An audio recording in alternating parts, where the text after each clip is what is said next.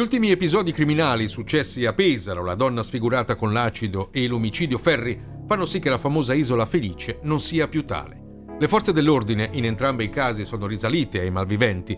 Il prefetto di Pesaro plaude l'operato dei militari, ma allo stesso tempo traccia un profilo del territorio. Il territorio della nostra provincia comunque è un territorio che, come tutti i territori ormai nazionali, senza più distinzione di sorta, è oggetto di atti che fino a poco tempo fa forse erano, se non dico, non dico del tutto sconosciuti, ma comunque veramente lontani nella memoria della gente.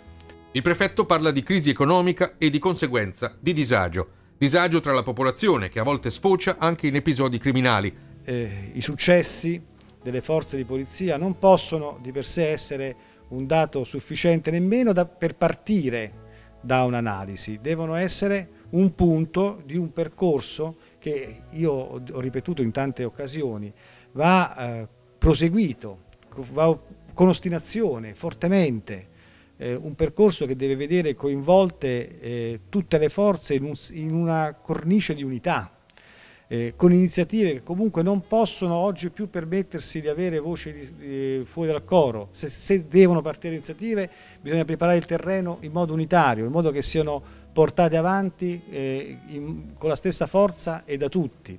Disagi anche all'interno delle forze dell'ordine, tra questi la carenza di personale. Eh, indubbiamente è vero, non, è, non, si può negare che eh, le forze di polizia sono oggettivamente eh, eh carenti anche rispetto alle piante, non solo rispetto alle esigenze del territorio, ma anche rispetto alle piante organiche così come sono previste. C'è qualcosa comunque che secondo il prefetto si potrebbe subito migliorare. Certamente aiuterebbe molto il sistema complessivo la possibilità di avere, di fare leva su una certezza, innanzitutto sul rispetto delle regole assoluto, quindi un problema culturale che deve essere affrontato in modo determinato e determinante. E poi sono accompagnatori a questo sistema culturale, primo fra tutti cominciare a ragionare per avere una certezza, una certezza della pena.